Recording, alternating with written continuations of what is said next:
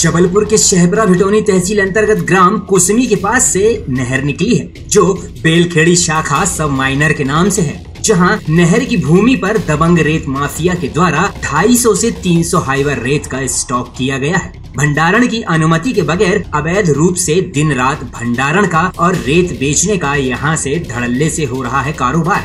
वहीं जब मीडिया ने इस विषय में एसडीएम सहपुरा अनुराग सिंह को अवगत कराया तो उन्होंने इस मामले को संज्ञान में लेते हुए मीडिया के कैमरे के सामने कहा, आपके द्वारा जो अवैध रेत स्टॉक को लेकर जानकारी दी गई है तो निश्चित ही मौके पर जाकर ऐसा पाए जाने पर तत्काल रेत के स्टॉक को जब्त कर रेत माफिया के ऊपर कार्यवाही करेंगे। लेकिन सवाल तो यह उठता है कि आखिर शासन प्रशासन को क्यों नज़र नहीं आते हैं ये अवैध भंडारण और अवैध धंधे। आखिर क्या वजह है कि बताए जाने पर भी नहीं होती है समय से कार्यवाही? आखिर क्या वजह है कि इन माफियाओं के बढ़े हैं इतने हौसले कि शासन प्रशासन की नाक के नीचे से हो रहे हैं अवैध धंधे? और सवाल तो यह भी उठता है कि आखिर कब शासन के अधिकारी मौके पर जाकर करते हैं कार्यवाही? पीवीसी न्यूज़ के लिए सहपुरा से दीपक सेन की रिपोर्ट।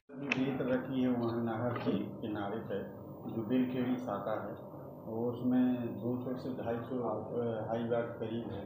और रात भर से काम चलता है। क्या उसकी परमिशन दे दी गई शासन नहीं, चूँकि अभी बारिश है तो अभी परमिशन का मतलब अनुमति लिए जाने का कोई ऐसा संज्ञान माइनिंग विभाग ने दिया हो, ऐसा हमारे पास अभी नहीं आया है।